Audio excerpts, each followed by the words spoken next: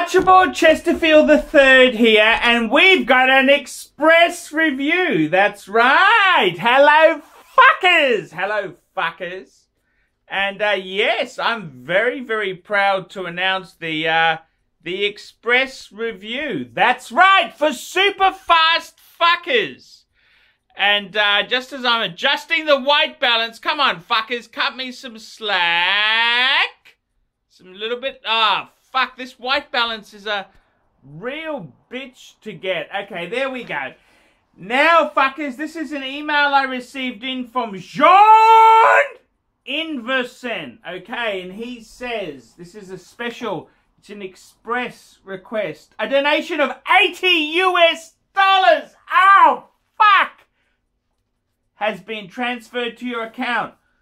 Please see separate email sent with invoice. Please make a detailed and a good review of my current collection and hopefully future buys with your recommended recommended alternatives. Mr. Iversen. Okay, let's have a look here. P.S. See my corrections in text below and use that as the material for the review and not for the first one that you receive. Dear Sir, I'm a watch collector and I would like your opinion on my current collection and the planned timepieces added to the collection. Being aware of your criticism for Zenith as a manufacturer, I'm not wanting you to praise the two timepieces.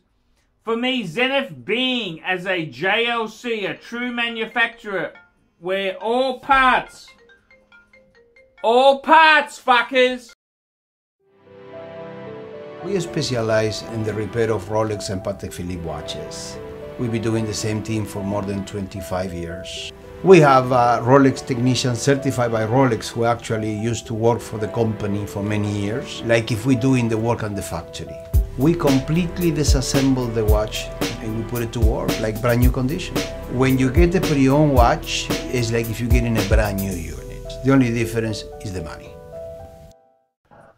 All parts of the timepiece being produced in-house. I really hate manufacturers not even having one signal, single movement produced in-house but using lower or higher grade ETA. Nothing wrong with ETA, but it's not for me. However, the striking 10th being a collector's item based on being limited to 1,969 pieces. The most beloved watch being the Jaeger-LeCoultre Master Chronograph in limited edition of 150 pieces.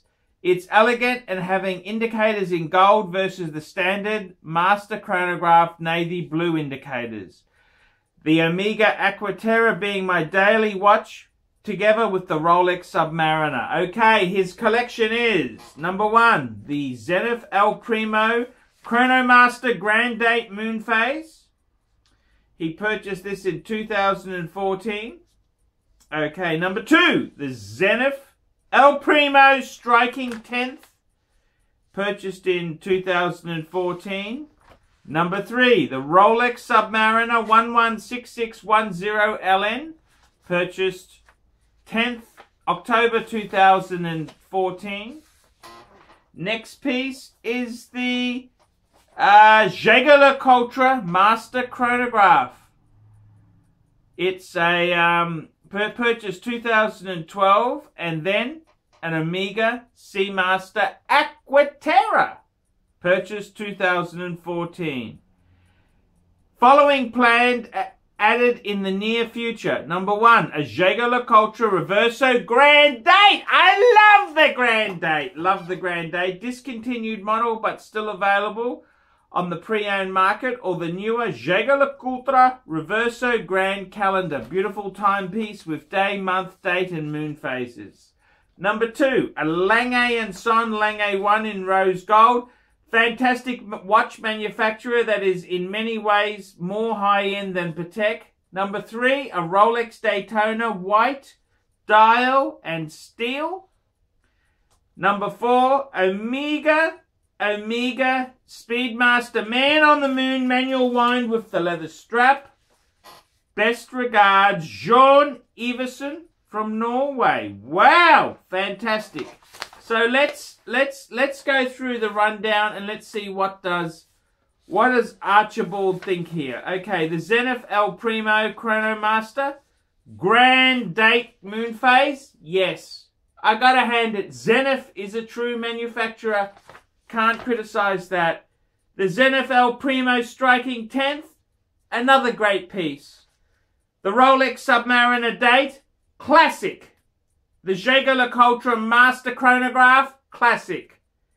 The Omega Seamaster Aquaterra? Classic. Absolutely fantastic.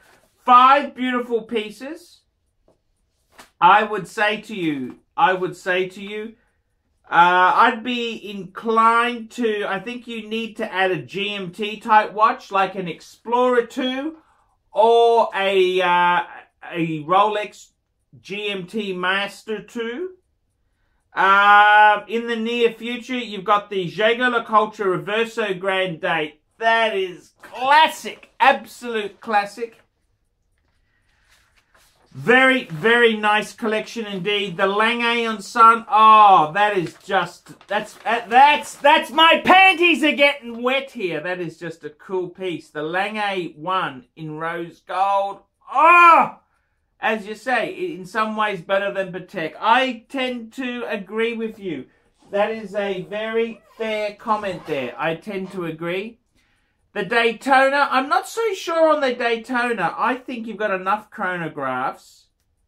Um, but I, I would say um, possibly the GMT Master or an Explorer 2 would be better at that spot.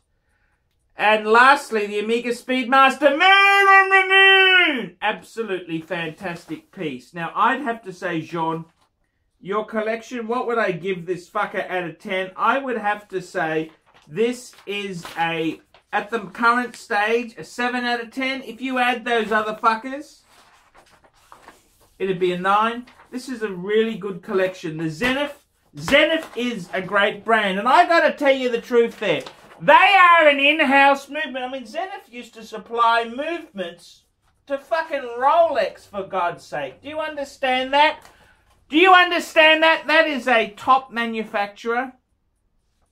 You got the sub, you need a sub date. That is a cool piece. I'm wearing a sub date. That's a cool piece. Uh, Jaeger-LeCoultre Master Chronograph, cool piece. The Even the Aquaterra, the Omega Aquaterra, I love that. That's cool. Um, I can't fault you. I can't fault you. This is a top-notch collection, and you're a top-notch bloke. Uh, I, I gotta say, this is really good collection. So, there you go, fuckers. I'm Archibald Chesterfield III. I give this the thumbs up. Thumbs up. I agree with what he's doing. I can't see any problems with anything he's doing there. This is going to be a very, very fine collection. Very fine collection indeed. Um, I think even the potential pit. The only thing I would, would change is that instead of getting the Daytona, I'd probably go for a GMT Master, a GMT Master, or an Explorer 2. That's the only thing I would uh, correct there. I agree. The Lange 1 is fucking amazing. Uh, the Reverso Grand Date Oh, that is just so sweet. Sweet, sweet, sweet, sweet, sweet spot. Uh, everything about this is a great video, a great collection. So uh, all I got to say is well done and uh, keep enjoying the Archie Luxury channel. See you later, fuckers! I'm Archie Luxury and see you later, fuckers!